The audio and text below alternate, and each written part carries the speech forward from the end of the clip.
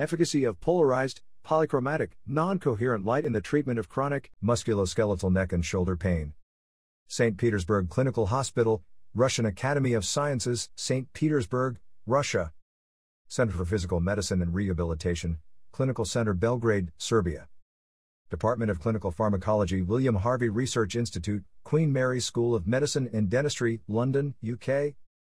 Polarized light from low power lasers and non laser devices has been used as a non invasive therapy in the treatment of various musculoskeletal disorders, acceleration of wound healing, and treatment of skin ulcers.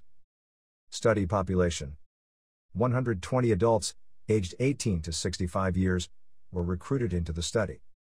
The main inclusion criteria were musculoskeletal pain, more than 30 days duration, in the neck, left or right lateral or posterior surface, and or in the shoulder region. Degree of pain rating, pre-procedure, of at least 50 on the 100 mm visual analog scale. Participants were not permitted to use any analgesic medication in the period lasting 48 hours before treatment 1 through to 48 hours after treatment 3. Study design and patient evaluation. Multicenter randomized, double blind, placebo controlled study to compare efficacy and safety of active light therapy versus fake light therapy over a three day period. Participants were randomized, 1 to 1, to receive either active treatment with the optical device, test group, or fake treatment with an inactive version of the device, placebo group. Primary efficacy outcome was assessed via self reported degree of pain via 100 mm visual analog scale. Secondary outcome was assessed via linear range of motion in neck slash shoulder regions, and via subject satisfaction of perceived change in pain level, 5 point scale following final treatment. Details of the efficacy assessment schedule are displayed in Table 2.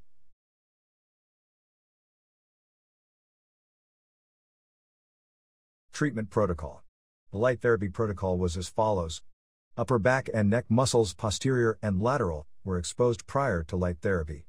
The optical device was held at right angles to the skin surface at a distance of 10 centimeters from the treatment area.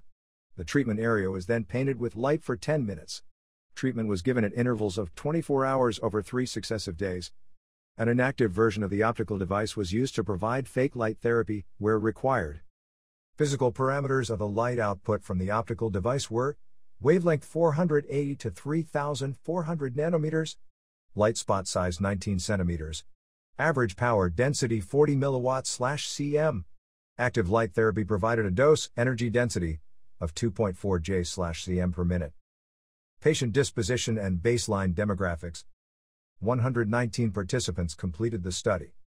60 people in the test group received active light therapy with the optical device.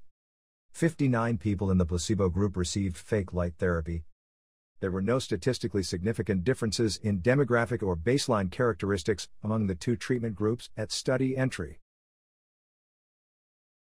The primary efficacy success criterion was defined as equal or more than 30% improvement in visual analog scale, degree of pain, rating from the period immediately prior to treatment 1 to immediately post treatment 3. This criterion was met in 82% of test subjects versus only 12% of the placebo group, p less than 0.001. Furthermore, the mean change in visual analog scale from baseline found the test group recorded an almost fourfold greater reduction in their level of pain than the placebo group.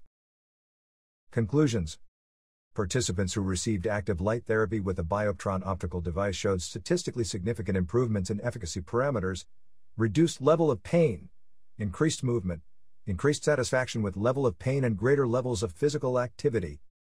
The data presented here support the positive effects of polarized, polychromatic, non coherent light therapy in treating patients with chronic musculoskeletal pain in the neck shoulder.